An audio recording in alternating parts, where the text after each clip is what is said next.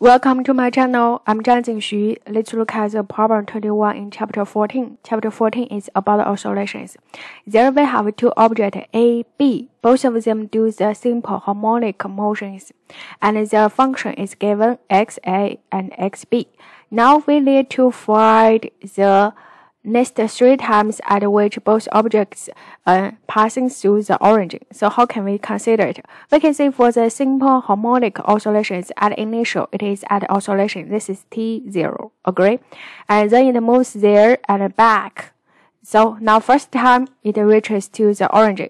Next time it goes this way and back origin. So it looks like at each time the time it goes through the origin the time just passed a period, half a period. You can see this is a total period, but then this time origin, this time origin. So this two half of the period, this two half of the period. Agree?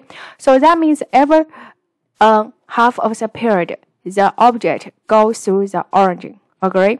So it looks like we need to find the period for A and B. Can you do that? Yeah, we look at this function. We know this is called omega angular velocity.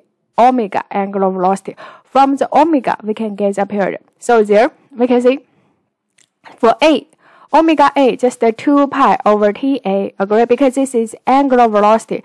For one circle, total angle it moved is 2 pi. The time is period Ta, and it equals 2. It tells us this is 2, so we can get the period for A.